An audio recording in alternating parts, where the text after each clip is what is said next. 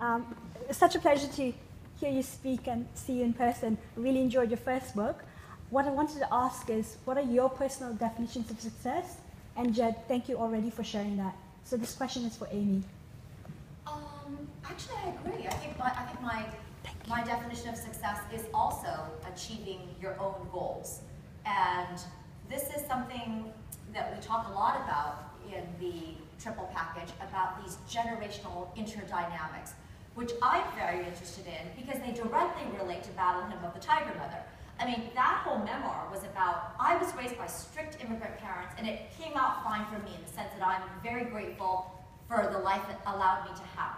I then tried to apply this method to my two daughters, and it worked with my first daughter, but my second daughter totally rebelled. She was born saying, no, I don't want any part of this.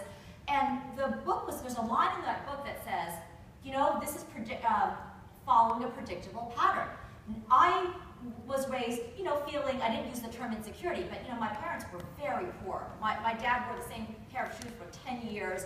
We just never went out, um, and we all worked through school, public schools. But my daughters, they're not wealthy, but they're more privileged. They're middle class. They have, we have two cars. They have a comfortable home.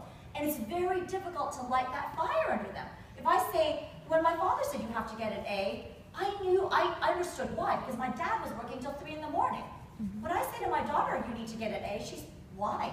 I, I don't get it. I, I, totally don't get it. And, I, and I, I actually don't have such a great answer. I'm just because, you know, in the family. And, uh, and so, and what I say in the book is like, well, this is a perfect example of generational decline. This and then it's a half facetious line, but I say, well, not on my watch. And in a way, the battle referred to in Battle of the Tiger Mother is a battle, I guess, with my daughter, a battle against generational forces, a battle against Western forces. It's a, it's a whole, you know, whole thing. And in the end, I only half succeeded. You know, I mean, I, you can't, I think the forces are, it's, it's what Jed said, that success, however you define it, or comfort, um, contains the seeds of its own decline in some ways. You know, if you're just not terrified that you aren't going to make it, why would you work so hard? Uh, so that I, that's a long-winded answer to when you say, what's my definition? I think that in my own way, I rebelled against what my parents wanted me to be. I mean, they wanted me to be a doctor, to get a PhD. I was bad at it.